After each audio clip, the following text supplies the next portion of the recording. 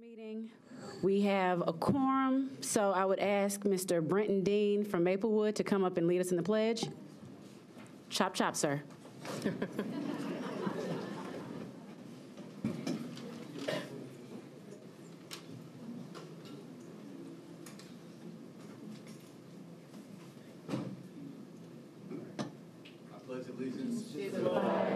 of the United States of America and to the republic for which it stands, one nation, under God, indivisible, with liberty and justice for all.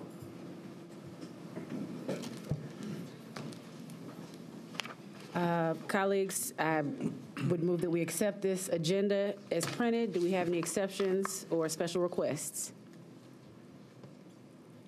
Seeing none, we'll begin with the good news is, thank you Overton High School Band. So I am so proud of Overton's uh, brass band being here. My, my dad, frankly, would have used it as I told you so, as he always wanted me to play the French horn, and I went woodwind. So he'll be so happy to see that. So they uh, beautifully performed Rondo by Marcelo Favon, Favino and Choral from Jupiter by Holst and arranged by Adam Bowl. Thank you. This month's artwork is a selection of pieces from Hume Fogg Magnet High School. The works include paintings, a collage, and prints. The large black and white print of Dirty Dishes is titled Sink and recently won a Gold Key Award at the Regional Scholastic Art Awards. Shana Snyder is the art teacher at Hume Fogg. Thank you so much for all you do. Please enjoy the art. Now we'll jump in some, to some awards and recognition. We have the Academies of Nashville Students of the Year.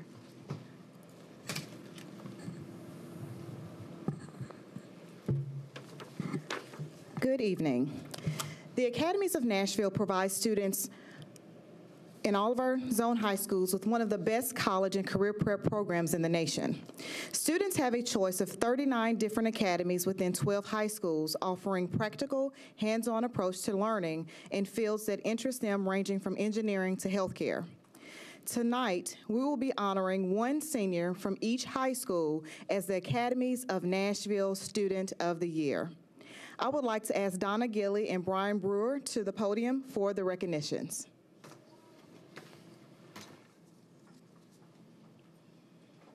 Good evening, Dr. Battle and members of the board. Thank you so much for having us this evening, and thank you for those of you that were able to get over to the reception. It is a very special evening to celebrate 12 of our students, and uh, Brian and I did rock, paper, scissors, and I think I let him move a few less tables, or I think it's a few fewer tables than I did. And so I get to hug, and he gets to call the names. So I'm going to turn it over to Brian and let him call the names, and we'll recognize these young people. Thank you very much. So One more thing I forgot to add. We have wonderful partners here that are helping. Uh, Each of our students will receive uh, a medal from our department, but they'll also be receiving a trophy from the Chamber of Commerce and a backpack filled with goodies and uh, school supplies from Deloitte. And I want to thank our partners, John and Susan and Scott, for being here tonight. So, good evening, everyone. Uh, Students, as I call your name, please come up and stand uh, in a row here and remain standing until we're done. I would appreciate it. So, let's see here. So, our first group is from our uh, southeast quadrant. That's going to be uh, Marcelene Beltran from Antioch High School.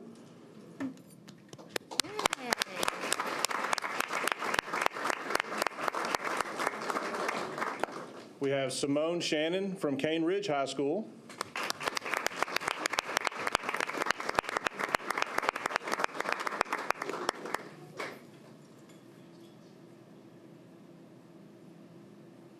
Alfonso Jones from Glencliff High School.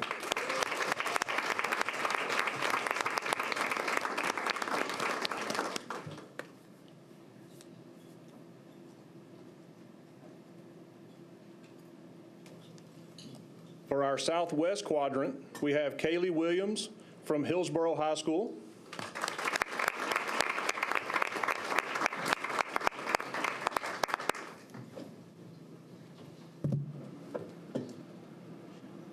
Have Dakota Villers from Hillwood High School.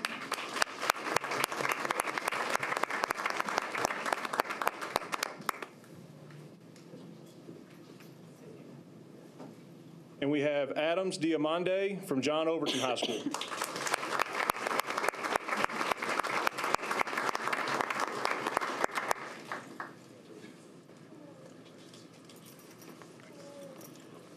From our northeast quadrant, we have David Nikiza from Maplewood High School.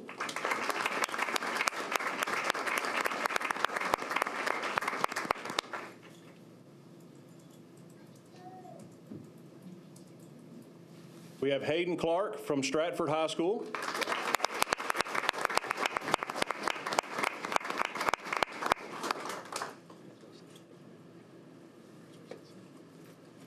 And we have Barrett Bays from McGavock High School.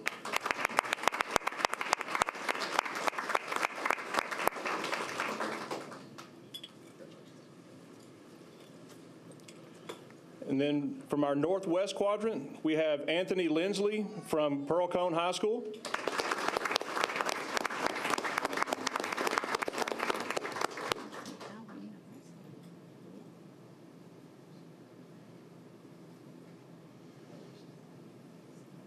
We have Zashay Simmons from Hunters Lane High School.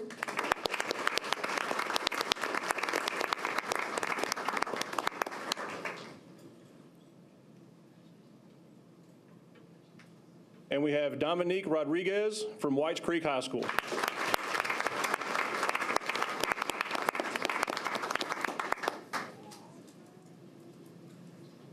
And I'm sure we'd like to get some pictures from the board, or if board members would like to come be with your students. Do we have a photographer, anyone from communications here? If not, I bet there are people in the audience that want to take pictures. I will. Students, students, if you all could step back here behind the partition. So if you'll go in right there. Oh, wonderful.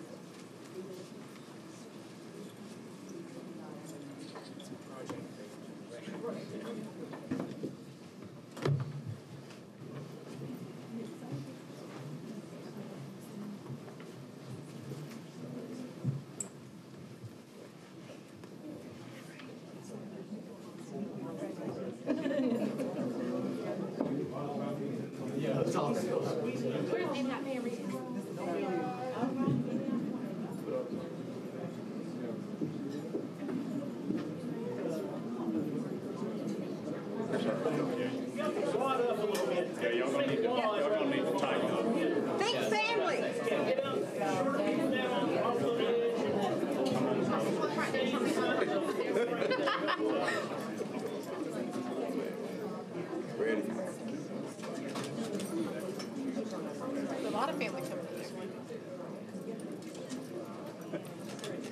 Hey, can you look at me?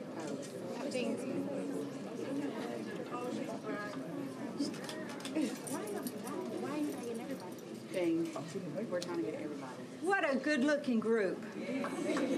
Good job.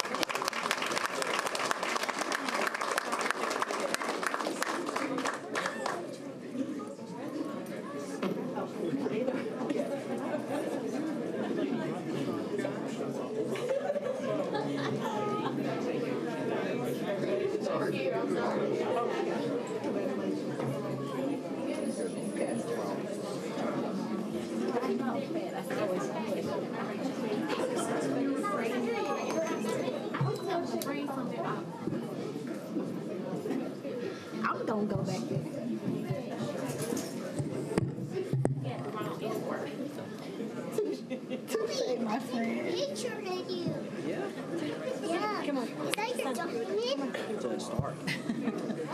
As most of them are leaving, if we could give them one more round of applause. Congratulations.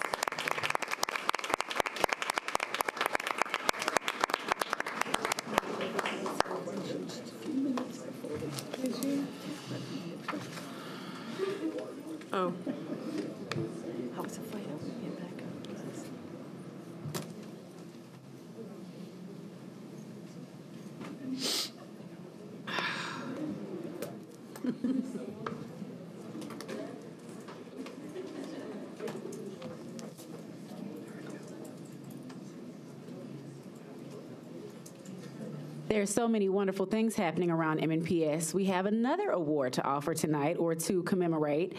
This is the prestigious Milken Educator Award. This award is mm, is going to be discussed by Dr. Battle, our Director of Schools. Thank you, Ms. Bugs. We do have a lot of great things happening. Um, each year, the Milken Family Foundation honors top educators around the country. The Milken Educator Awards have grown to be the largest teacher recognition program with over 2,700 talented educators proudly bearing the prestigious designation of Milken Educator. The purpose and goals for this program are to honor and reward outstanding educators for the quality of their teaching, their professional leadership, their engagement with families and community, and their potential for even greater contribution to the healthy development of children, and to focus public attention on the importance of excellent educators. Last October, there was a surprise event at East End Prep for Miss Shelley Gahn, where she was announced as one of the two Tennessee Milken Award winners for educators for the 2018-19 school year. At this time, I would like to introduce Michelle Mills, Director of Talent and Professional Learning from the Tennessee Department of Educating, who is here to formally present the award to Miss Shelley Gahn of East End Prep.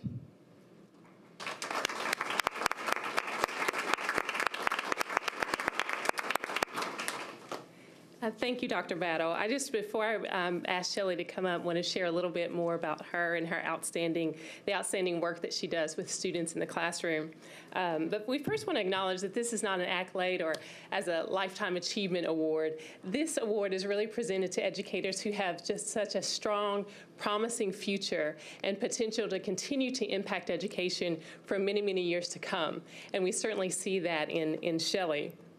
Um, as you said, last October she was awarded in a surprise event this award. Um, but Shelley is a kindergarten teacher at East End Prep. She teaches the whole child, despite, and despite their age, holds them to high expectations, both for academics and social emotional behavior and growth. Shelley students are remarkably independent. I personally had the pleasure to uh, visit her classroom and see them in action, and they have learned to move from one activity to another with very little adult support. Um, they are highly self-directed and highly self-motivated. Additionally, they provide feedback to their peers on both work and behavior. Her methods deliver stellar results. Her students show 90th percentile growth on uh, both math and reading assessments year after year. Ms. Gahn's impact goes well beyond the classroom. She has become an integral part of East End Prep, and she leads the school's art club, kindergarten orientation, and she's even founded a volunteer corps for kindergarteners, first and second graders to show them that no matter what their age or how much money they have, they still can provide an impact and make a difference.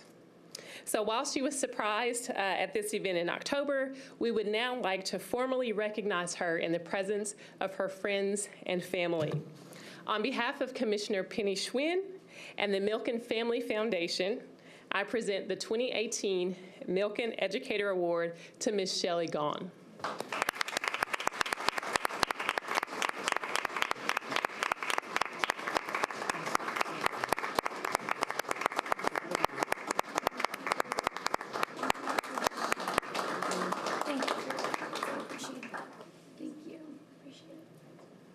Thank you. If you don't mind, uh, Mrs. Gahn, would you come back up for a picture?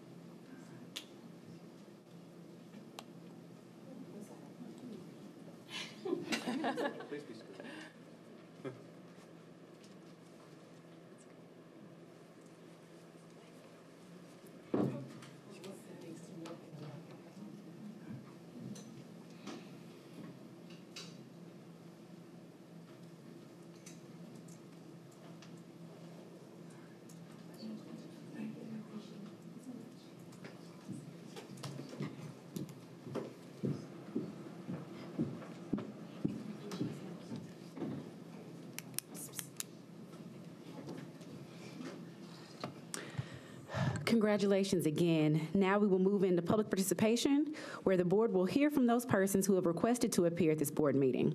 In the interest of time, speakers are requested to limit your remarks to three minutes or less. Comments will be timed. If you'll direct your eyes to the screen in just a moment, you'll see the order in which you'll be presenting to us. We'll begin with Kyra Thomas, followed by Skylar Ringer, Ringler, Clarissa Williams, Evan Russellberg, and Matt Progno. Pregno. Um, hi there. Uh, good evening, Chair, members of the board, and um, Dr. Battle. My name is Kira Thomas, um, and my address is 1547 Hudson Road in Madison. Um, so I am a student at Stratford STEM uh, Magnet High School, and I'm here to talk to you guys uh, today um, about a new policy that's being implemented in regards to our grades as students in Edgenuity classes. Um, so, for those of you who don't know the full story, let me begin by presenting you that. Um, so, essentially what happened was that we at Stratford didn't have a math teacher, and so we ended up hiring one uh, about three weeks into the school year who then quit on us um, about two weeks into the school year, and so they had to give us something um, for those higher level math classes and physics classes that we didn't have a teacher for.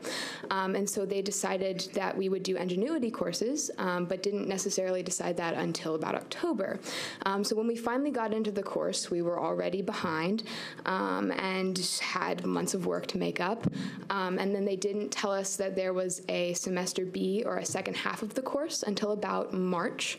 Um, and so essentially from the beginning, we were told that the way that they would be grading us was that um, they would grade us based on our progress in the course. And so uh, students, such as myself, focused more on progressing through the work rather than progressing through the work and keeping the grade up. Um, and about, uh, you know, 12 days before the school year is over, they've decided to change the grading policy to base it completely 100% on mastery. Um, and so the grade that is sitting in Edgenuity right now will become the grade that sits um, on our report card. Um, and there's a couple issues with that. Um, the first and major issue being that basing the grade 100% off of mastery um, it disregards all of the circumstances that uh, the students had that were out of their control that were holding them back. Um, so essentially, the fact that Edgenuity um, and the courses we were taking are harder level, higher math courses, so like pre-cal and statistics. Um, and so we were put into Edgenuity classes, which is a virtual class. Um, so hard concepts, virtual class, and lack of a teacher in the classroom to help us work through these um, concepts. And we were on a time crunch, so we had about four months of work to do in about two months of work. And so to take a grade and disregard any of the effort that the student, you know, all of these stresses and circumstances that are out of the student's control, um, to not factor that into the grade calculation, um, I feel like is a little unfair, especially 12 days before the semester is over, to the point where students like myself and others, um, our courses are closed and there's nothing we can do about it. Um, so thank you for your time. Thank you. Next, Skylar Ring- Ringler.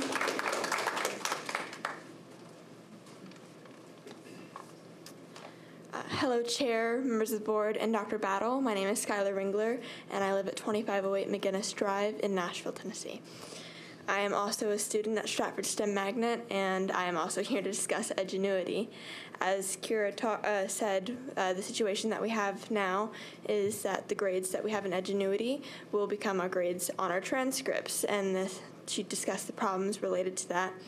And personally, if the grades that were from Edgenuity were transferred over to my transcripts, that puts my position as the future valedictorian in jeopardy.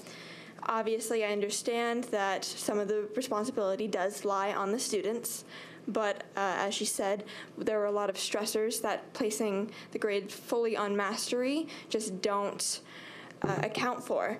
And of course, mastery should be part of the grade because if we don't account for that, then it's not really.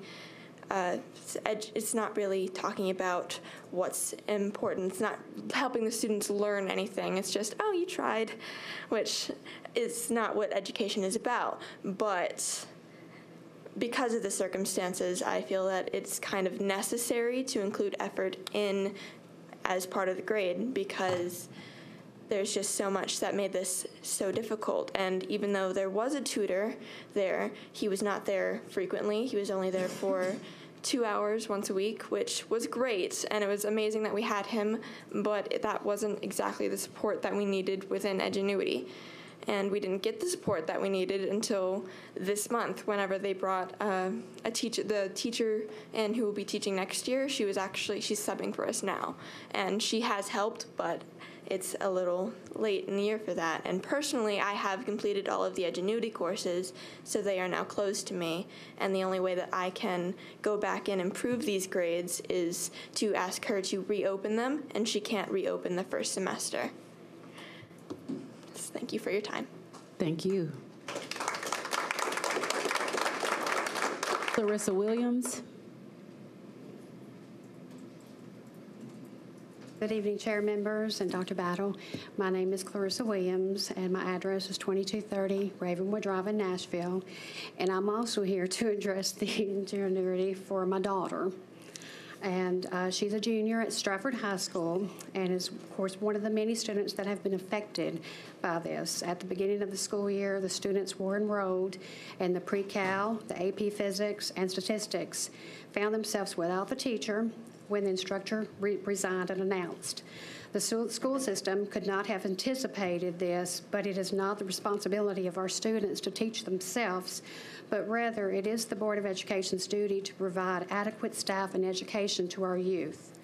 Despite numerous attempts through the school year and efforts to work with the executive principal, he was unsuccessful in finding certified teachers with the adequate education and knowledge to teach these high-level courses. The original intention was for Edgenuity was to be used for recovery credit to assist the students to make up the credits in order to graduate. However, when the school found itself without a teacher, it was decided that we would use this as an actual credit class. To me, this was ill-advised, and it left a void in the education being offered to our students. There was not an instructor available to oversee these classes, and so there was no guidance with class materials. We know the Edgenuity is a virtual system where incomplete assignments are factored into the final grade. Our students are behind in these assignments, which is a direct result of them not having a teacher. And to me, it's not acceptable that our children should receive an education of less than quality that are being held accountable with poor academic scores. The negativity is affecting their learning, their future potential as colleges and scholarships will review their academic records. The purpose of my daughter enrolling in the AP Physics was to give her a solid foundation to build her future college and career goals.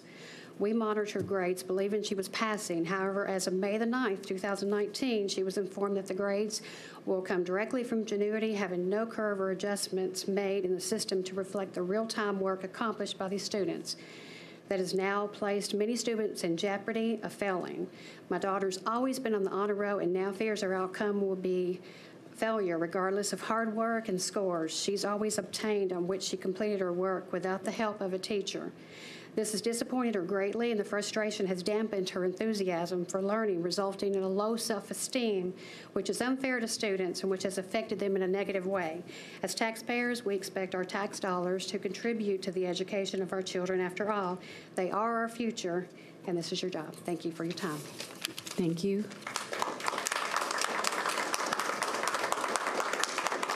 Evan Russellberg, pleasure to see you again. Pleasure to see you too. Good evening, chair members of the board and Dr. Battle. My name is Evan Russellberg, and I am a junior at Stratford High School. My address is 620 South 14th Street, Nashville, Tennessee 37206. I am also here today concerning the Edgenuity program at Stratford High School. Ever since our math teacher left us for better job opportunity in late August, early September, we have been put on a program known as Edgenuity. We were told that as long as we tried and did the work, we were to get 93s. So we did that. Time went on, and we were told that we were behind, so we were told to finish the program as fast as we could. So we did that. Then our grades got lower, and we were then given a contract that stated if we did three quizzes a week, we'd get an A. Two quizzes a week, we'd get a B, and so on. Being concerned, I went to a principal of mine. She proceeded to tell me that as long as I paced myself and tried to learn something, that I would get a good grade. I sacrificed my peer tutoring class and came to the class to do the work and get assistance. I started to do a little better, but the teacher helped me could only do so much. Then about a week, we were to all told that to finish the program, but finish with passing grades, and that would be our final grade. We have come to find out that this decision was made by you, the board. We were never accommodated for the situation we had control over, no control over. And now many of us are to suffer, including our seniors who may not graduate until July because of this Edgenuity program. This situation is both unfair, un- unattainable, and downright unreasonable. This situation has caused many students to turn to a website known as Brainly, which is designed to give the answers to the Edgenuity program, so kind of cheating. I am not part of that. I am here today to ask the board to do the right thing. Give us the grades that we deserve for suffering of a situation that we had no control over and accommodate us for our misfortune. We have already paid for this mess because our ACT scores in math have already found to be low, and we may never know the math that we were supposed to learn this year. Do the right thing, give us a fair and reasonable grade so we can move on from this horrendous situation. Thank you for your time. Thank you.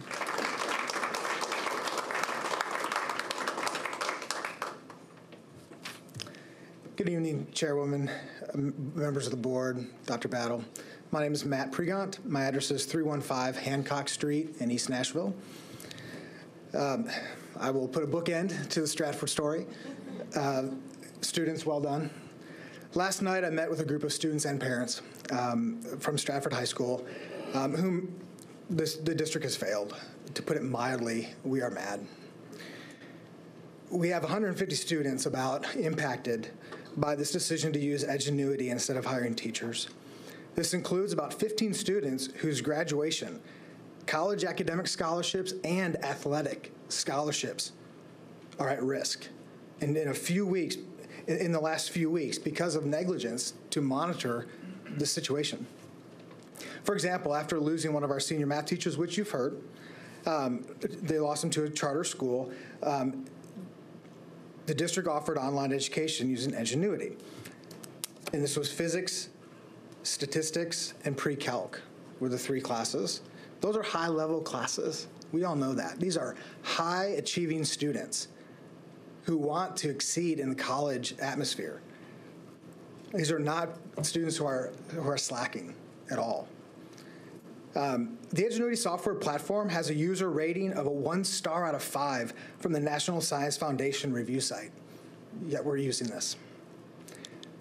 As the school scrambled to deal with the teachers leaving, the students were made to sign a written contract, a contract, setting expectations to complete the program, as you've heard, three quizzes a week, only to have those expectations changed last week. But even worse, they're encouraged to complete the work just to clear the quizzes, regardless of whether they were learning the material.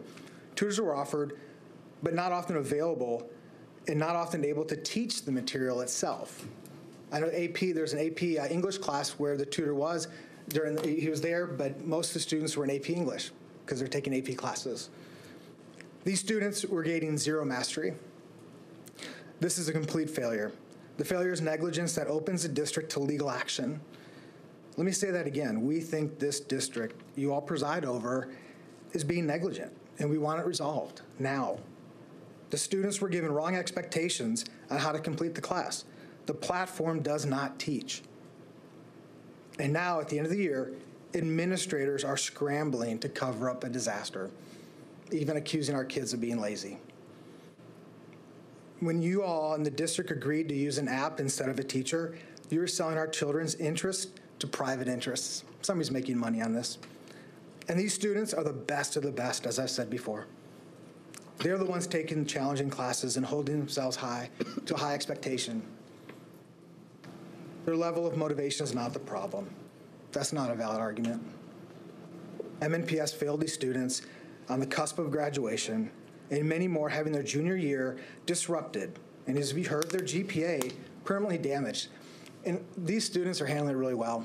There's, I mean, we've heard from parents panic attacks, stress from these students who all year thought they were doing what they were supposed to do. We need immediate action, please. This is an emergency. We need proper administration in this situation right now. The administrations and teachers at Stratford are not on top of this. This district needs to intervene now, intervene now, please. Thank you for your time. Thank you.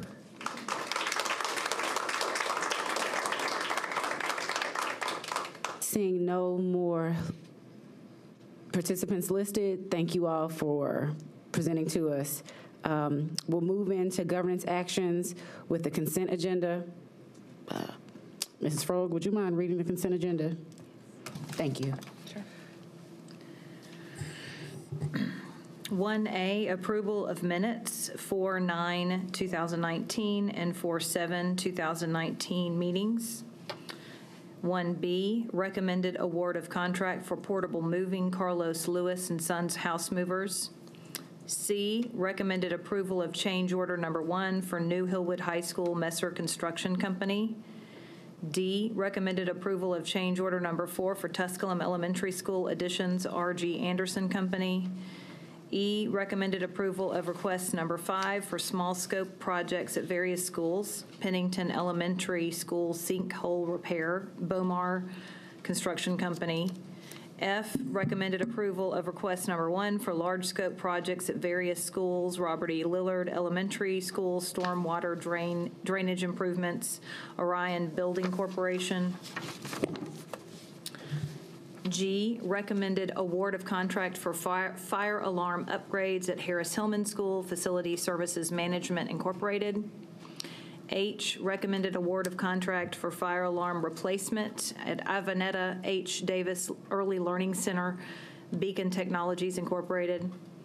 I, recommended award of contract for fire alarm upgrades at Nashville Academy of Computer Science, Old Brick Church School Building, Facility Man- Services Management Incorporated.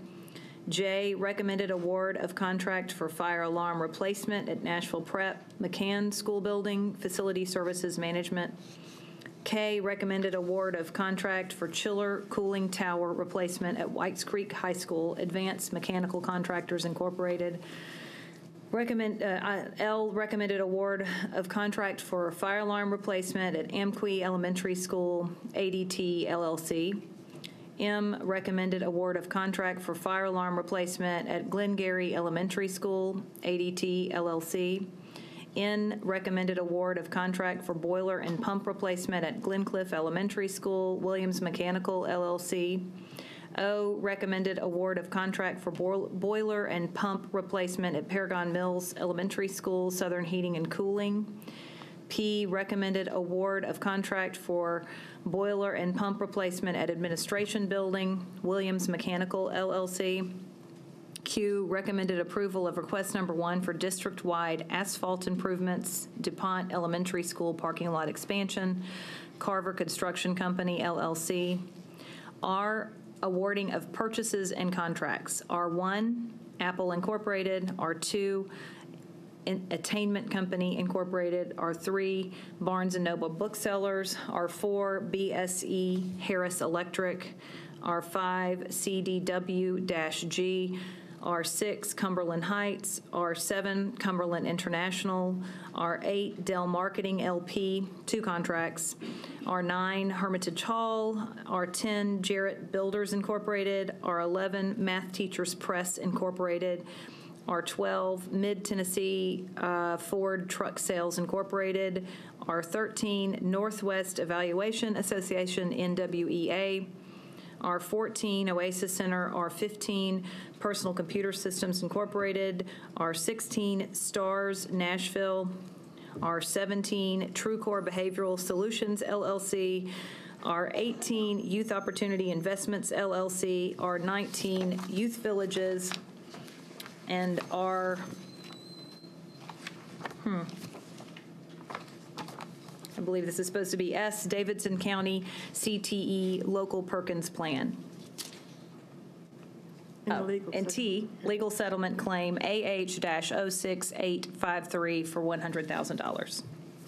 All right, the consent agenda has been presented. Do we have a motion to accept it? I move that we accept the consent agenda as read. Second. Any discussion? All right, all in favor, please raise your hand. All opposed? It's unanimous. All right, we'll move on to Dodson Tulip Grove Elementary zoning.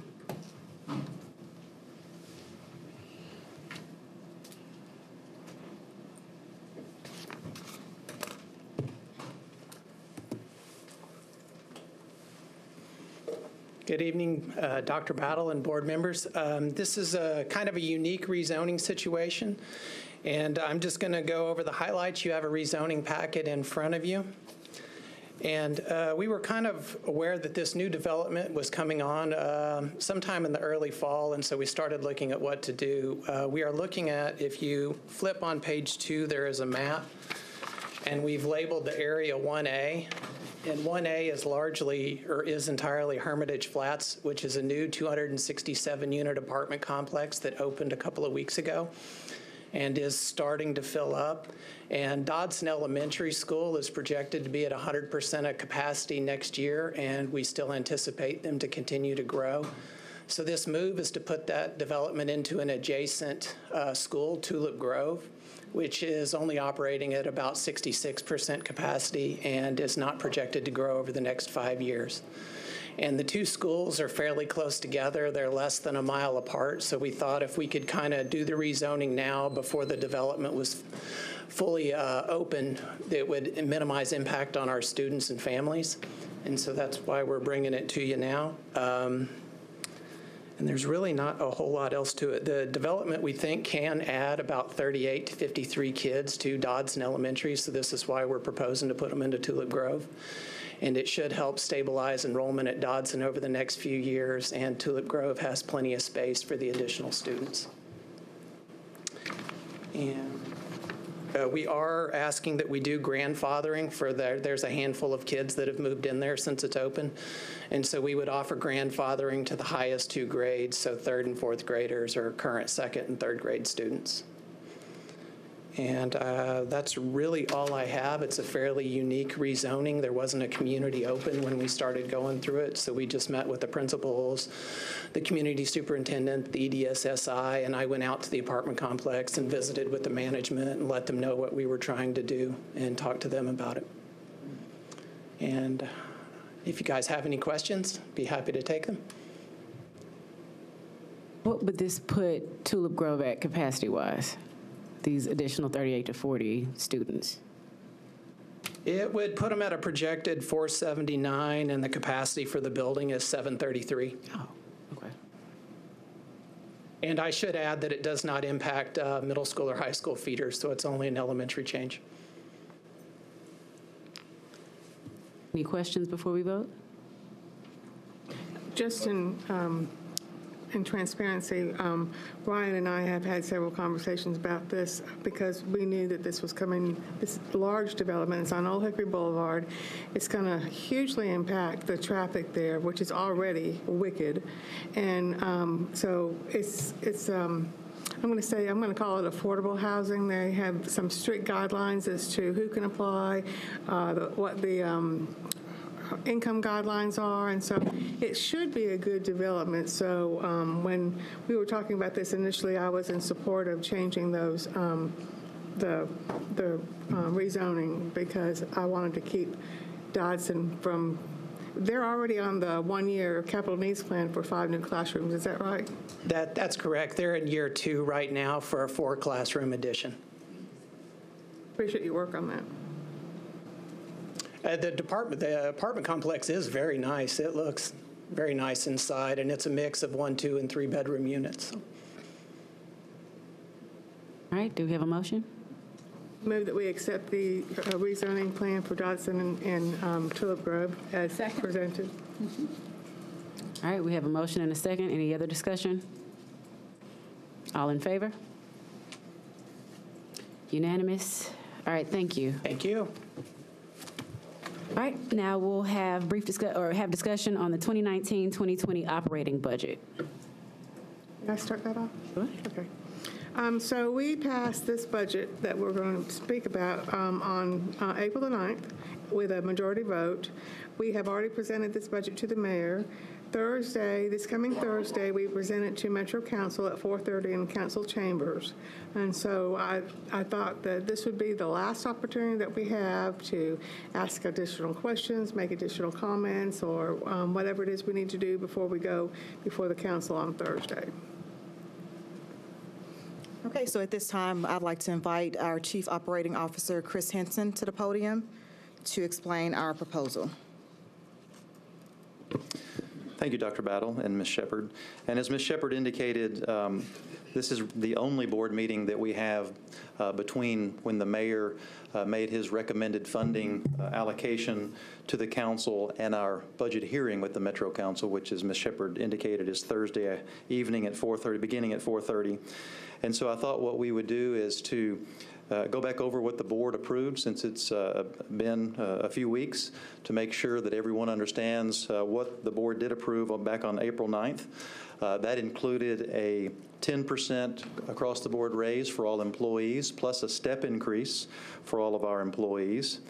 It also included some required additional costs that we have uh, regardless, which would include our existing pre-K program where the federal grant will end mid-year.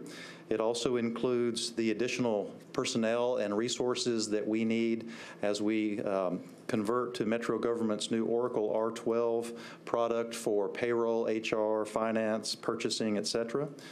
It also includes approximately $9 million uh, in addition for uh, charter school enrollment increases, as well as an increase in the per pupil amount uh, as calculated by the State Department of Education for our charter schools.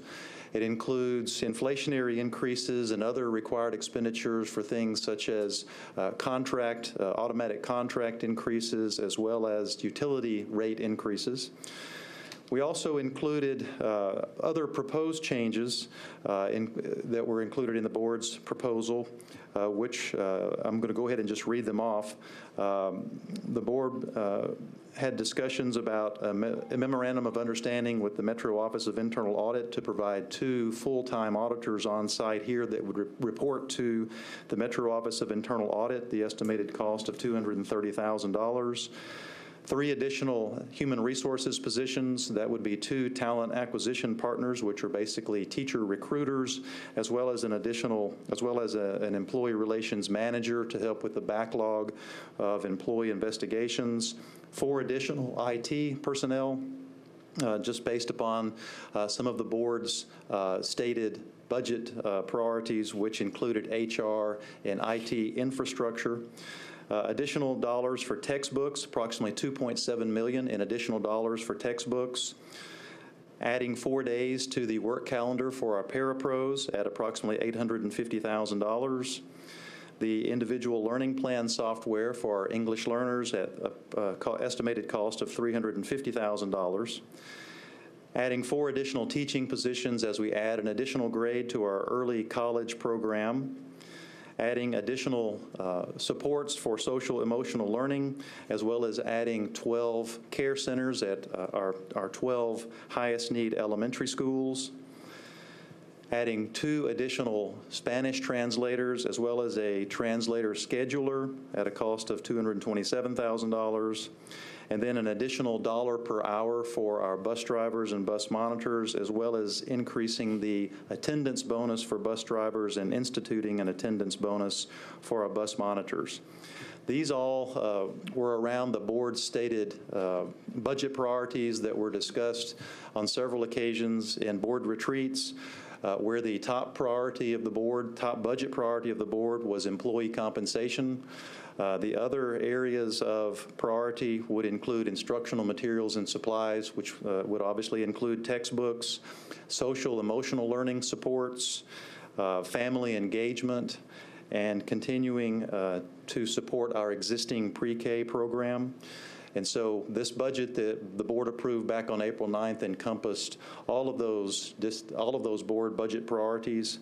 It had a total uh, increase of approximately $76.6 million, uh, which was an 8.6% increase over the current year budget.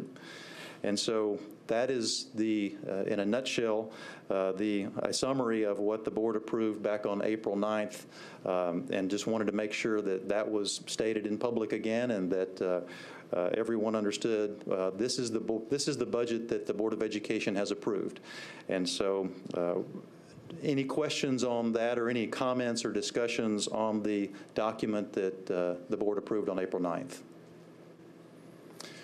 So then, uh, we did receive our recommended funding allocation uh, from the mayor uh, through the Metro Finance Director, which was an additional $28.2 million, which is a 3.2% increase.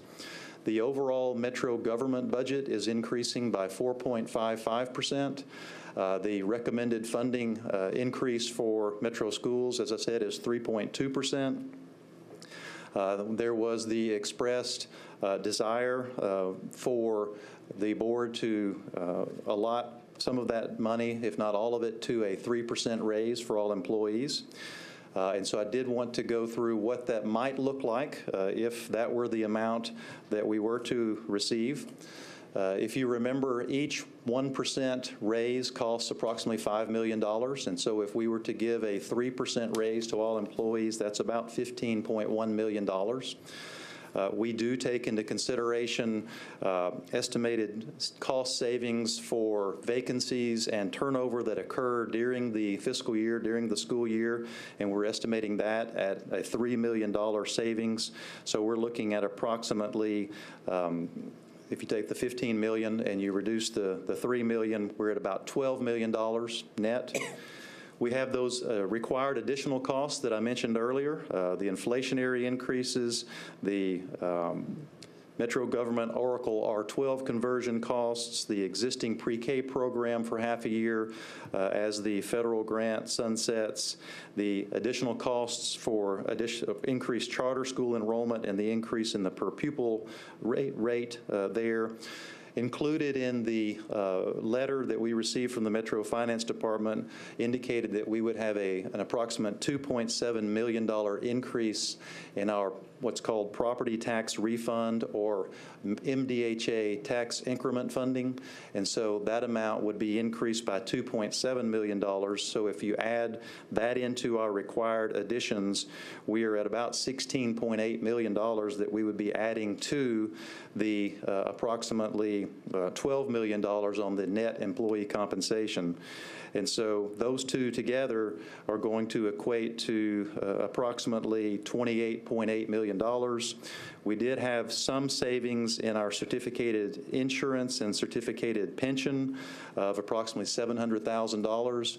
And so in the end, uh, if we were to, to give a 3% raise with the required additions that we have, with the additional $2.7 million increase in the property tax refund, the uh, tax incremental financing uh, amount that is charged back to the district, uh, that would take into consideration all of the additional 28.2 million that has been proposed and recommended by the mayor uh, for us. And so that's just in a nutshell what those numbers might look like, and I'm happy to try to answer any questions that you may have regarding that scenario. Mr. Henson, when we had our conference call or our meeting yesterday um, to prepare for the meeting on Thursday, you went into great, into detail about what the raise structure looks like for um, our Metro employees. And if I remember correctly, it was 3%, but it was also um, a step increase and a 2%, and I'm not going to remember the terminology for that. Sure, and I'll just go by what I, what I've read um, and and heard. Uh, The the proposal, from what I understand, for Metro government employees that are on the pay plan would be a 3% increase plus a step increase, as you mentioned, uh, plus something that's called a a- a 2% open range increase, which I think is based upon evaluations and and and merit pay. And then also uh, that no Metro government employee would make less than $15 per hour. And so um, the proposal that we received with the, the narrative in the letter was just the 3% increase. Uh, We would not have enough funding to give a step increase, which uh, that cost is an additional $8 million. And then uh, it would not include the additional funding we would need to bring all of our hourly employees up to a minimum of $15 per hour. And, I'm sorry, but uh, in our agenda planning meeting, I think we got our, our, our wires crossed. Uh, we would like to have the document to show, to lay out, to show all the council members what exactly every, I mean, that every 1% is $5 million, what our inflationary costs are, just everything you listed, so that we can show them, you know, if this is all we receive, we won't have social emotional learning supports, we won't be able to replace the pre-K grant, we won't, you know, just being able to show them very clearly and the community at large whose eyes probably crossed while you were uh, saying some of these numbers. But if we could have a document that lays all that out that we can share with the community and share with the council members, that would, I would be uh, very appreciative. Appreciative. And I've got, in anticipation of that, I've got something that I'll just hand out now. That would be great. So that we can kind of go through this together. Madam Chair. And then uh, Rachel Ann and then um, Mr. Pinkston. So my question, and I don't know if you have this off the top of your head, is how much would it cost to get everybody to $15 an hour? I don't have that information. That would need to be calculated by Human Resources, and I don't know if Dr. Majors has calculated what that would look like.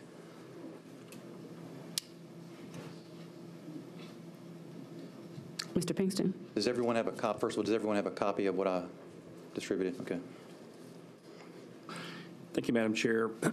You know, I watched with interest um, the uh, state legislature uh, a few weeks, a couple of weeks ago, as they were debating the uh, the voucher program that is uh, an effort to devastate the the budget of uh, the bu- the budget of International Public Schools as well as Shelby County Schools.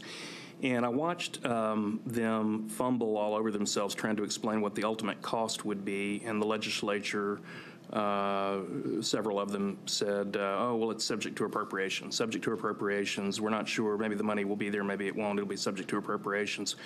So I think um, it's time for us to use their own language and say some of this is going to be subject to appropriations. So whenever we get to the other side of the conversation with the council, whatever number they ultimately approve for us, whether it's 28 million or 30 million or 32 million, uh, I want to bring notice now that I want to redirect the 9 million that's currently set for charter schools to redirect that to uh, employee pay raises. Um, That'll get almost 2% um, on top of whatever's being contemplated. So that's a, a notice uh, to bring a uh, motion at a future meeting after the council uh, determines what our ultimate uh, uh, additional funding is going to be. Because just like the legislature, we're subject to appropriations. Okay. Other questions or comments? I'm- I'm happy to walk you through this document since I was verbally giving it, just to, to make sure we all have an understanding. Uh, The same format that we've used, uh, this is a a summary of changes. Uh, At the top part of the page, you have compensation, beginning with our certificated employees. 3% raise for certificated employees is right at $12 million. Um, A 3% raise for our support employees is approximately $3.1 million. Uh, That's our $15.1 million. We do have uh, modest decreases or savings in uh, the certificated insurance uh, based upon the basic life premium, as well as the certificated pension, uh, the TCRS employer contribution rate, there's a slight decrease. Uh, We also, as I mentioned, take into consideration vacancy and turnover. And so the net number for compensation under this scenario without a step increase uh, would be 11.4 million. Uh, The middle part of the page, required additions other, this is basically unchanged from what you've seen, uh, except for the property tax refund, MDHA tax increment, that $2.7 million increase, uh, which I believe takes our total uh, tax increment amount that would be in our budget that would be a cost or an expense to the school district to approximately $11.2 million.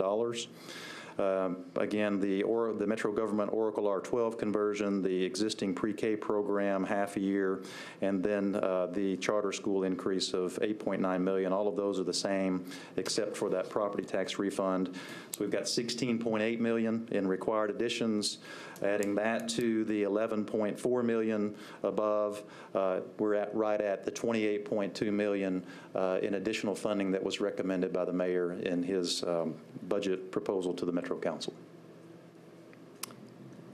I would also suggest that in addition to or to supplement this document, um, we've heard at the last two listen-in sessions that Dr. Battle hosted, a, a lot of families, a lot of um, educators talking about our narrative and having more control of the narrative and making sure people see our school system is full of people. And the document that you all had originally that was a, in graphic form, if it's possible to have this by Thursday, that would be great because that also outlines more clearly for those who may be visual learners, you know, that this is all we can have, all we can get based on the funding that they're offering right now. So I'm not sure who I'm making that request of. Dr. Severe, if you wouldn't mind maybe looping back with me, but I think this could be very powerful in uh, developing the narrative. So, because of course we have council members being reached out to now, and some of them just don't understand when we talk about the inflationary costs or uh, the, you know, just exactly how much a, a step increase costs. They, I just think this could be beneficial. And so I'll look back to communications to Rob Johnson, and you're, you're wanting that based upon the 28.2 million that the mayor recommended for us? I think that would be my request of, you know, from my colleagues, if you all are okay with that. I think this would help to tell the story. I think this puts into better context what we would, what our limits would be if we're limited to 28.2 million. And then, of course, the community uh, wrapping their heads around the MDHA TIF um, and understanding how we as a school system are helping to pay for some of these incentives. I just think it it just could be very powerful. Other questions, thoughts, concerns? Yes, ma'am. There's a, um, perhaps a misunderstanding. I know that our teachers have worked very hard uh, at um, writing council members to let them know how desperately we need uh, to have this budget funded. And uh, one council member wrote back that um, maybe teachers were writing to the wrong people. Uh, that maybe that that their their energy should be talking to board members because this council member believes that there are three people, three highest paid administrators making 1.8 million dollars. I've I've spent some time looking at the budget to see where that information could. Uh, where the council member could could have gleaned that that information. I can't find it. Is it, would you respond to that allegation? I'll look to Dr. Majors, but I don't know of, of any case where that would be accurate. 1.8 million. Um, but uh, I mean, there is there is a sense, I think, uh, with the council that our salaries are too high, considering what the government, what the mayor makes, and several of our chiefs make more money than the mayor. Um, I, I, asked today and checked about Shelby County. Shelby County has uh, 106,000 students. Uh, their uh, director's pay is 291. Their average teacher pay is 56,400, and their average uh, salary of their principals is 107. Now Davidson has 80,000 uh, as opposed to 106,000, um, and our teacher average is um, 2,000 less uh, at 54.9 and the principal salary is 107 as opposed to 109. So I, I think when we have thought about salaries in the past, we have looked at nationwide uh, in terms of our director's salary, and um, but maybe we're out of whack with what Metro is paying. So I, I, I, want us to, to consider that as we as we think about these things, and so that we can um, give a good, rational answer to those members who think that we are.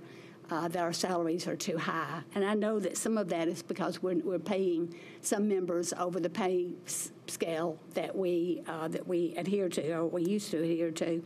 So um, yeah, I, I, I, was thinking maybe that was, you know, selling back.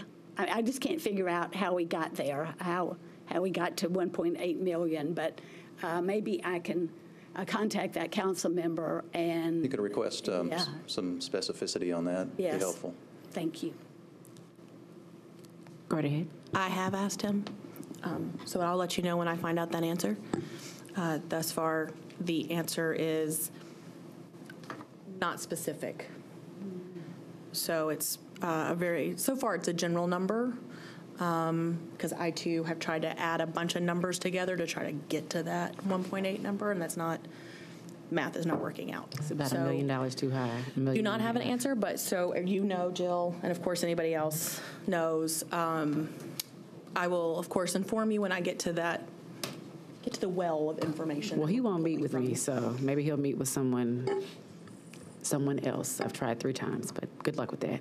That would, that would be an average of 655,000 each. And we don't have anyone making that.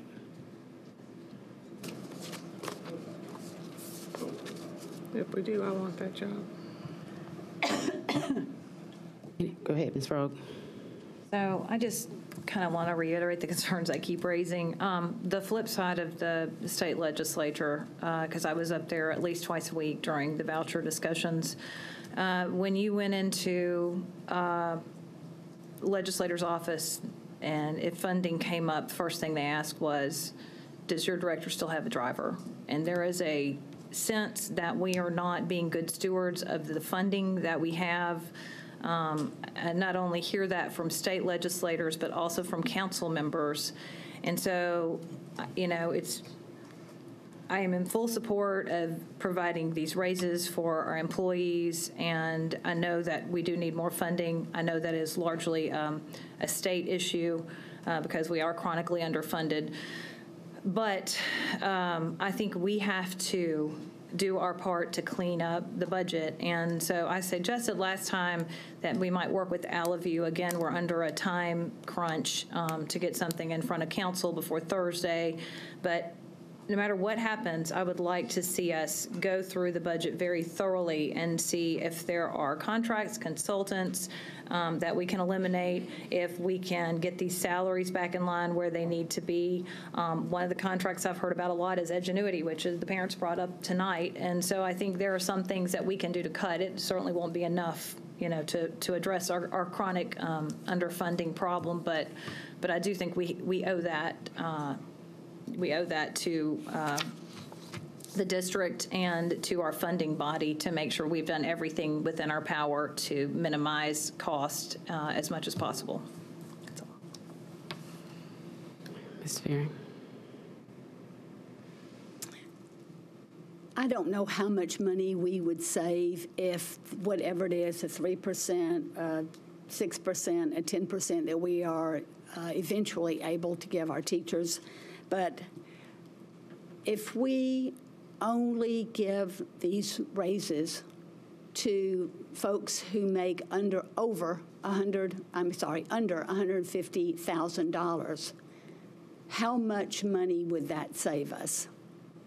I'm not going to have that off the top of my head. I'll all look right, to- to Dr. Majors and see if you have it. Um, There's not very many positions that earn over that number, so uh, I wouldn't think it would be much in the grand scheme of things, but we can calculate that. Yes, that'd be helpful. Thank you. About 50,000, if that. Go ahead, Ms. Elrod. All right, to uh, Amy's point, um, Fran, you had said that you were going to be looking through those contracts. Do you have an update for us on that? Um, I had the opportunity to look at those contracts, and David had tried his best to um, minimi- minimize the Excel sheet, and it was terribly hard to scrub these contracts. And going back and echoing what Amy said, I think we've raised this issue, I think, for the past, what, two to three board me- uh, meetings to have all of you to come and help us do that, so that way we can be able to identify and be able to be able to make a decision on, do we really need this contract? Is it really touching our kids? Is it something that we can do so we can help um, with raises for our teachers? So it's been extremely hard to do that because everything is kind of all embedded, so it's kind of hard to really read it. So um, again, I'm just, we've asked, you know, can that happen? Is it hard to do? We have all of you to look at that, look at our contracts, our consultants, and things like that. Because I really do believe that we can cut. We have to show council that we that we care enough, and we are trying to clean up our house. And I've said this before. Um, that we're trying to make our cuts. Because it looks like we're going to go back and present the same information, and we haven't done anything to show them that, you know, we are trying to be good stewards and um, cutting some things to help, you know, with the, with the problem we're having to reach the, the raises for our teachers. So what is your, what, what is your feedback to that? What are, what are your thoughts? Sure, and we've contacted Allovue, and Allovue is a, a, a budget platform, and so they're, they are not themselves, they're not going to know which con- contracts of ours are effective or not. You know, that's something that the district is going to have to evaluate, and that's what we're trying to do through our priority-based budgeting process. Uh, Of course, we just started using Allovue this year for the budget, for the budgeting for both the school budgets as well as the district budget. And so we haven't gone through a full year yet of using the Allovue product and then going through the fiscal year, since the fiscal year hasn't started yet. Um, They, you know, they're agreeable to come and, and talk regarding uh, their product and the, the budget platform that, that we have. And there may be some additional modules that we haven't purchased yet uh, that might be helpful in that regard. Uh, But since we just started using the product, um, you know, it's something that's new to everyone, and we're happy to, to ask all of you to come and, and, and make some kind of presentation uh, regarding that, regarding what their product will do or, or won't do. But what they've indicated is that um, it's really the, the, the school district and the budget owners and the department heads to establish what those metrics are as far as whether a contract is effective or, or it's not, um, because they're just not going to know all the details of all of the contracts that we have. Uh, But we can have them, we can have them come. One thing that I do want to mention is, um, as regarding the current year budget, if you remember, uh, last year, we received an additional $7 million but we had $22 million in additional fixed costs, which required us to cut $15 million uh, from the current year budget. It was actually from the prior year budget to make the current year budget balance. And a lot of that was looking very closely and specifically at contracts, and we cut uh, in excess, I think it was in excess of $3.3 million from the contracted services lines, as well as we cut um, about three quarters of a million dollars from travel. Uh, You remember, we cut 111.5 positions. Uh, We um, uh, basically stopped the implementation of the middle school STEAM program. So we went through a lot of cuts just to make the current year budget balance. That was that $15 million that we had to reduce. Uh, So we have gone through pretty closely uh, with our, our budget team, uh, with the budget owners that have those contracts to, to see where we can make reductions. Not that there, not to say that there couldn't be further reductions that could be made, but we have attempted to do that and, and had to do that as part of last year's budget process. So for this year, are we cutting anything out of this budget, the one that we presented on April, in April? Are we cutting anything out at all? We are. If you look at the, the bottom part of that page, uh, where it says proposed changes, uh, we have 11 non-school-based positions that were initially proposed uh, on March 5th to be cut, so that's a million dollars. Uh, We also had additional reductions uh, in various line items throughout the budget of almost $600,000. So we've got about $1.6 million that we've already identified as cuts or reductions um, throughout the budget that could be used if this, if the 28.2 million were the amount that we were to receive, that could be used for some purpose, whether it be textbooks or social emotional learning. So we did, we do and did have some, some reductions included in the proposal that was made back on March 5th. But since then, there hasn't been any other change. So once we present on Thursday, and, and that's, that, that is true, council members, not just this particular council member, but council members are having concerns that we're not cutting, we're not doing any, any- anything on our part to come in the middle. And so I'm just afraid when we come and the only thing we're cutting is 1.6 million, it's just, they're gonna laugh. I, I don't know what else. I mean, we're just not, what else can we do? Because this is not gonna be good enough. I know we're like two days away, but, I mean, we probably should have been doing this, and I thought maybe after April, we we would be doing this, you know, the team come back together and have a conversation, tough conversation about where we're gonna cut.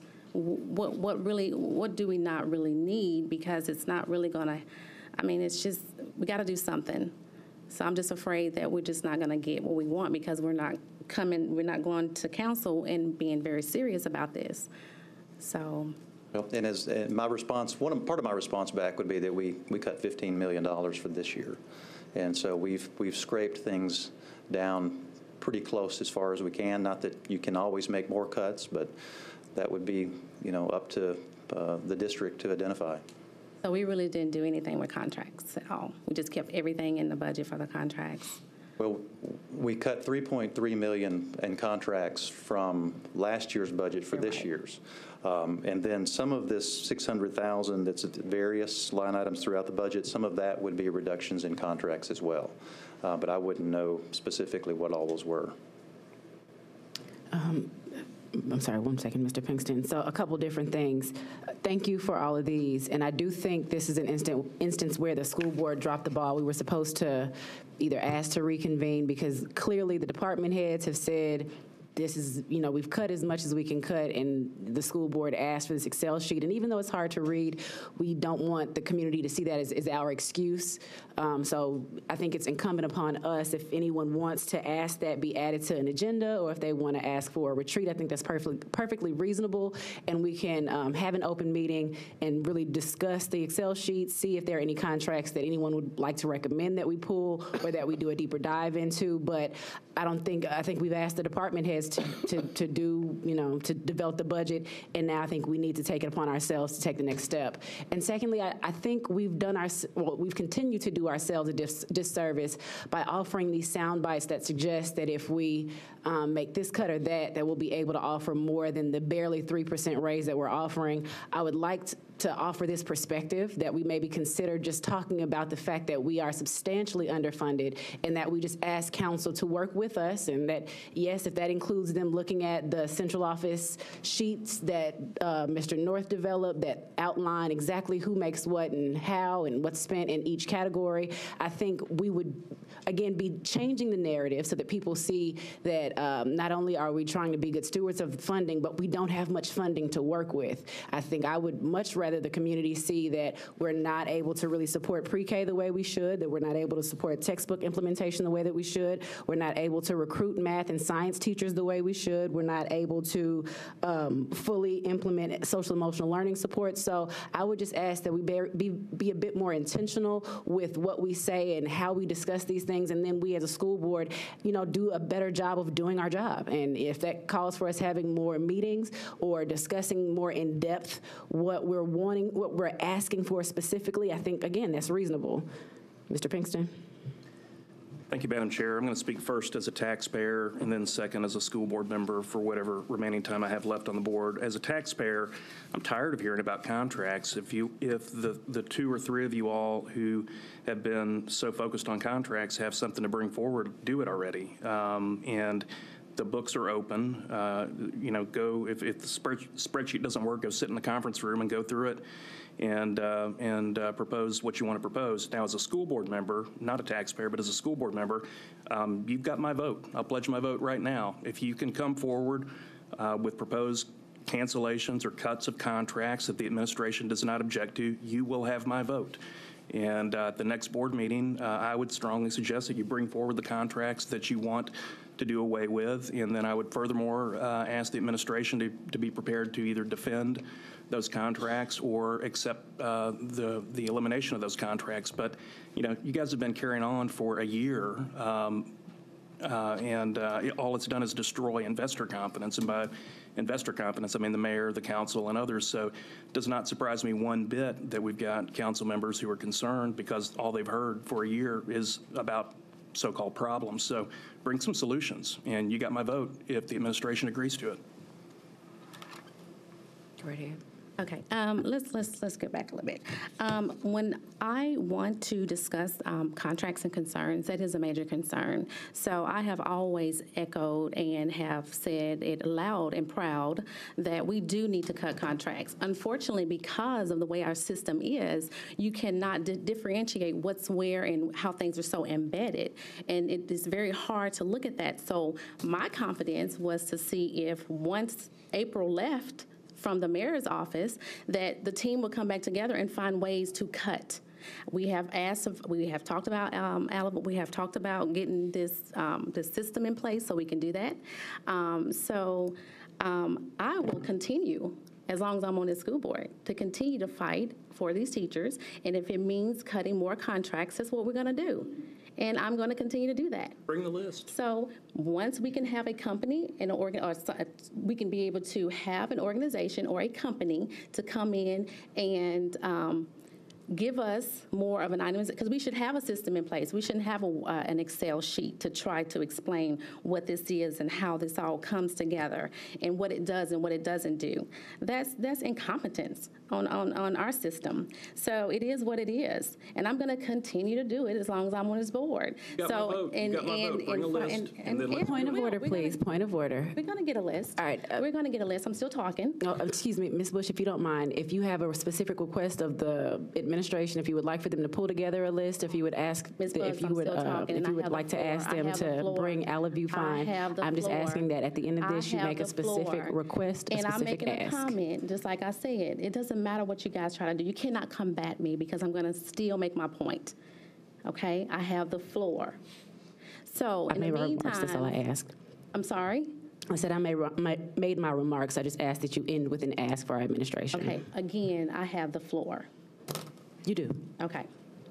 I don't need any more interruptions. No problem. Okay.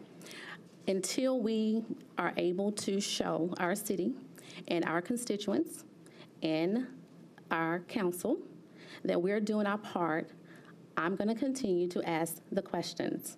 And I'm going to continue to get, ask for the requests to get the information so that we can be able to move forward with the contracts and with anything else. And central office, we're still top-heavy with salaries there, so there's a lot of work to be done. So that's what the goal is. We have to send a message that we're doing our part and we're cleaning up our own house. So that's the message I want to send, and I'm going to always send that message until we can be able to show this city and our constituents that we're doing our part. Thank you. Any other questions? Ms. Marion? And then Ms. Rogue. I- I've got, I've found some discrepancies today, and um, maybe you can answer them right now, or maybe you and I can talk over the phone uh, sometime this week. But on page six, under administration, we- there are uh, categories or- that give the total.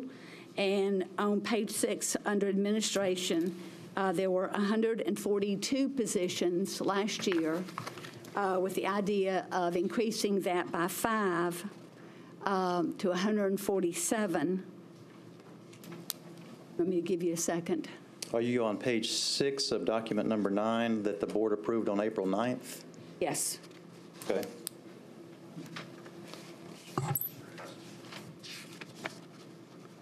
Under administration, it says total, Correct. So that shows a total of five additional positions, uh, which would be the, um, it would be the three positions in HR, the three, posi- the the two positions in HR for R12, I have a list of them, and I just have a different um, sum than, than the, uh, than the sheet you passed out a while ago. And uh, perhaps I'm missing something, so I just wanted to, for you to sit down with me and, and happy talk about it. But if, for five additional positions in administration, which we're, we've also increased their budget by 2.6 million.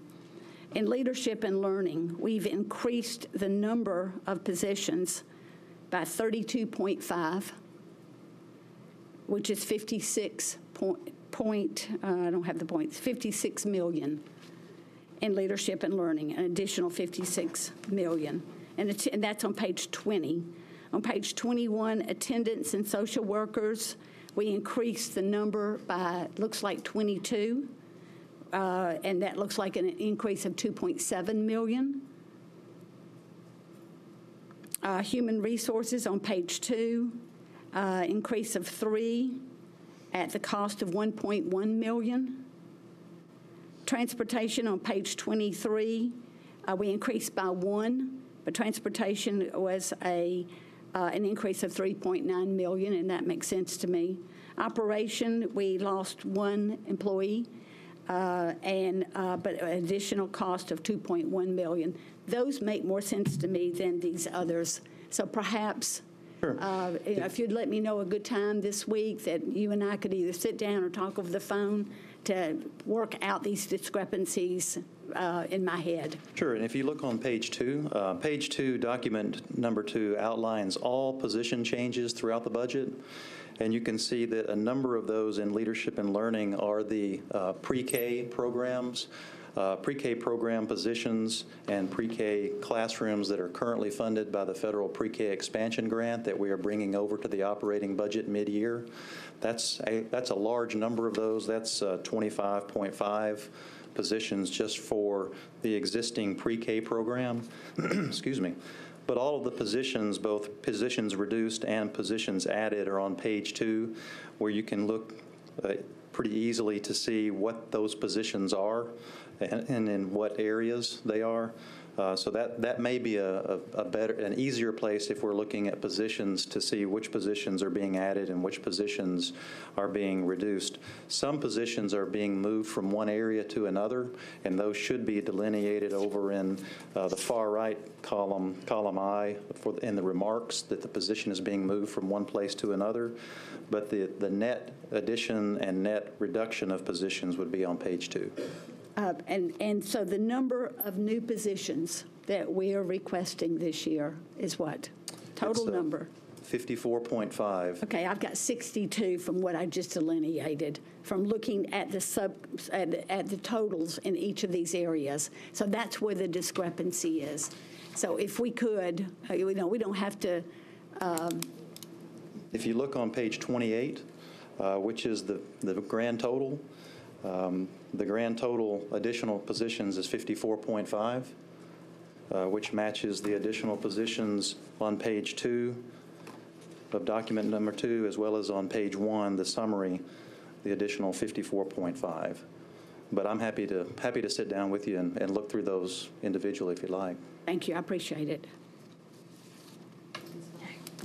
So I wanted to respond to Will's comments, but Will has left, and I find it irritating that he's throwing out these comments but doesn't want to actually hear a response from other board members. But let me tell, let me talk about the issues that got us here. These are not imaginary issues, and I have gone through these in great detail. We have a missing $1.5 million that we spent on Performance Matters. Nobody track, can track where that money went, neither the district nor the company.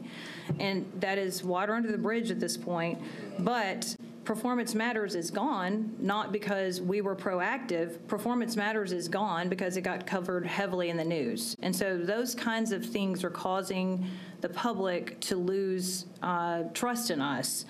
Um, We had a sevenfold increase in unauthorized purchasing over a one-year period. And the reason I've become so interested in Allovue is um, Allovue is able to track those kinds of things. So we can set limits on, you know, amount spent on certain kinds of contracts, on unauthorized purchasing.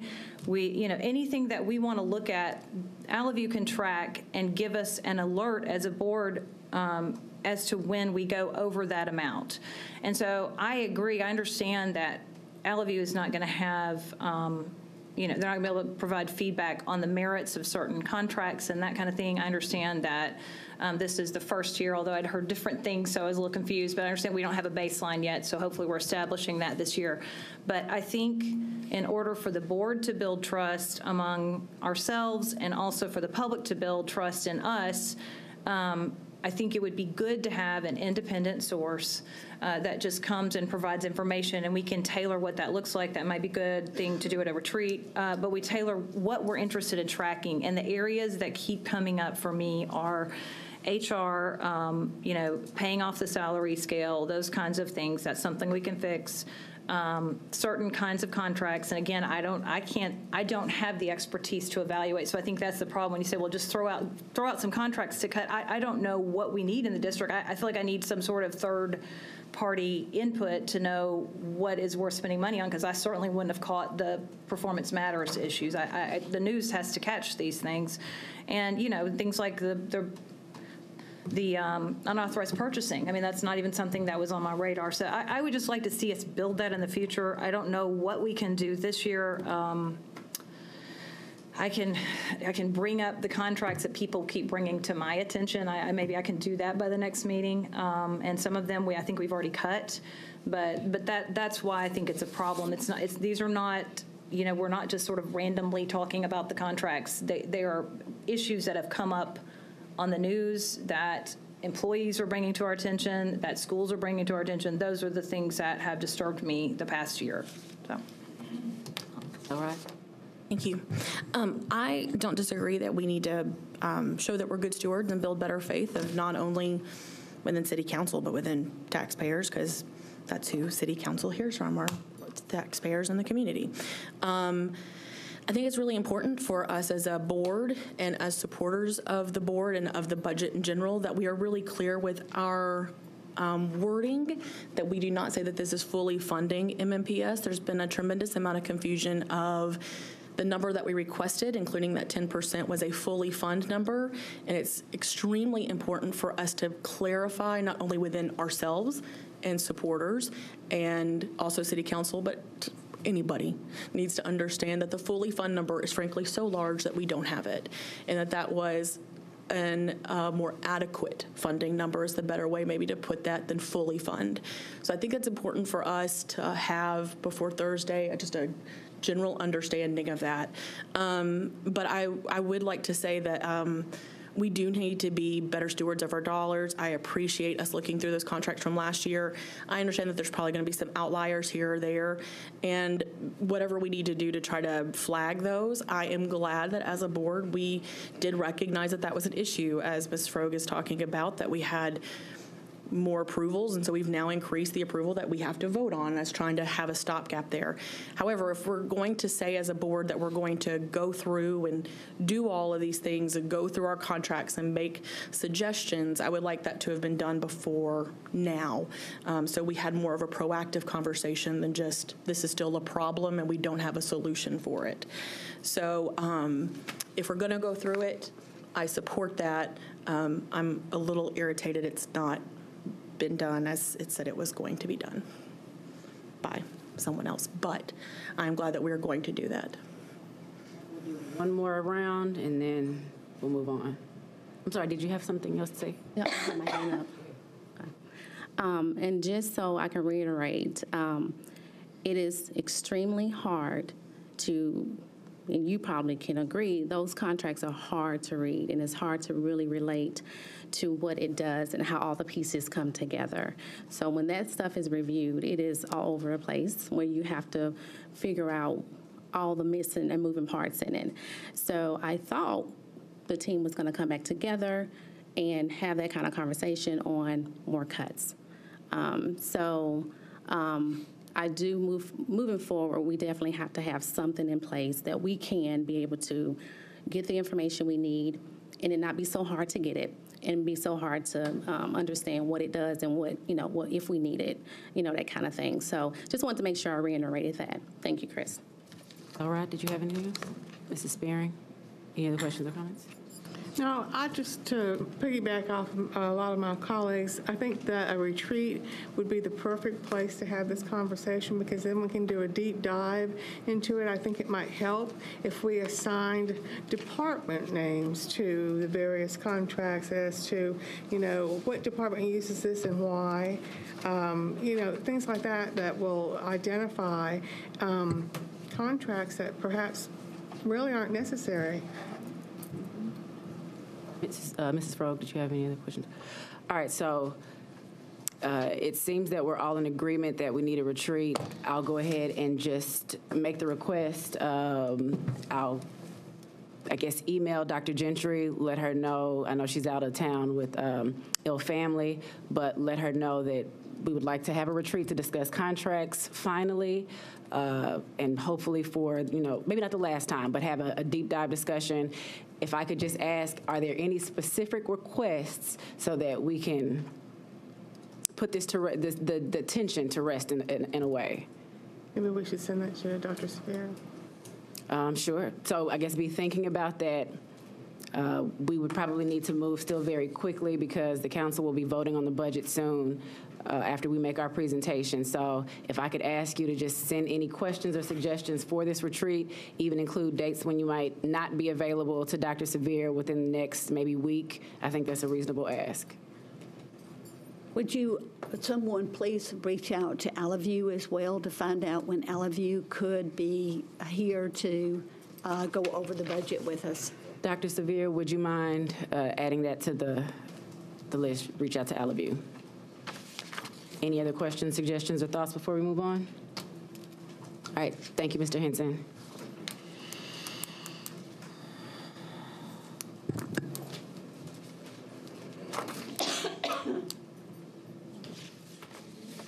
All right, well, uh, we'll begin, well, we'll end with any announcements. Mrs. Bush, Uh, I haven't, I don't have any. Mrs. Elrod? All right. Everybody join the Overton train as usual. So uh, Overton, of course, is full of vibrant students and wonderful staff, and they have had an incredible influx of the kind of schools and the amount of schools that they have had um, acceptances from for their seniors. And so in celebration of that, they have a big banner that is now, uh, there's even a very nice stand for this banner, and it's on Franklin Road. So if you live in the area, please go back um, as District 2. We should be so proud of Overton and thankful for not only their existence, but the whole community um, within our district. And so I'm really proud of that banner, and I'm glad it's out there. So be sure to drive by if you live around the area. Speering. Yes, thank you. Uh, On Thursday, May the 16th, 2019, the Nashville Public Library invites all of us to the 2019 Battle of the Books, uh, which will um, consist of a literary quiz among 30 Metro Nashville Public Schools, uh, middle schools. So uh, for more information, you can contact Battle of the Books 2019. And uh, I'd like to say congratulations to the Blue Ribbon Teacher Award recipients. Uh, Libby Target from Goodlettsville Middle School, Nikki Roan from Bellshire uh, Ele- Elementary School, Kiana Naglis, Old Center, Rebecca Hughes, Tom Joy, Stella White, Tom Joy, and Tia Tate, Old Center. Congratulations.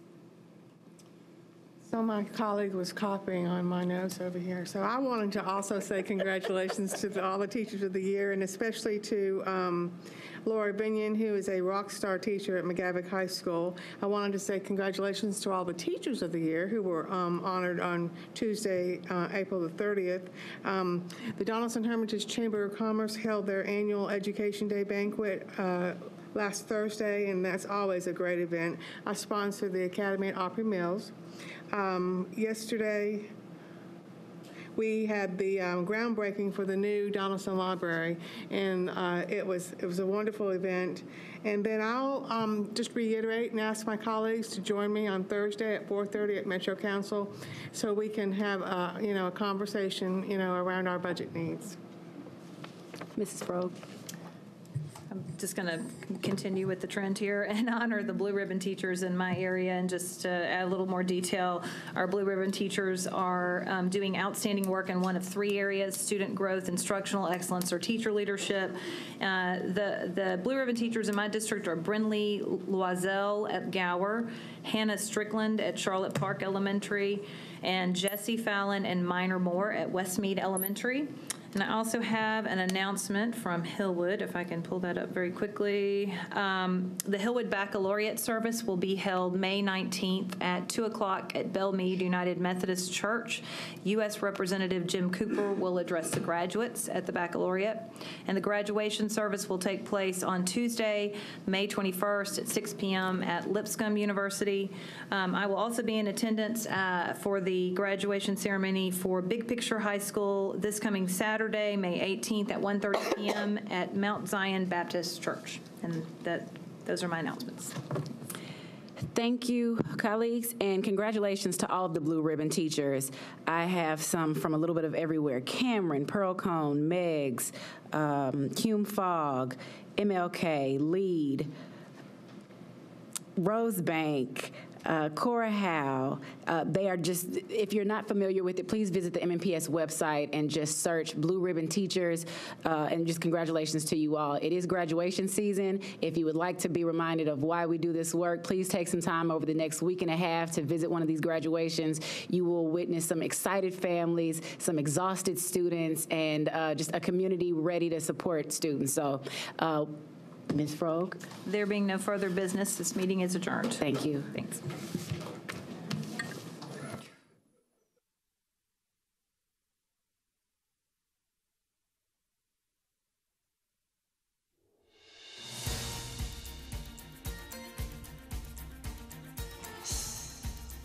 This has been a service of the Metro Nashville Network. If you would like to see this presentation again, or for more information about this and other programs, visit nashville.gov.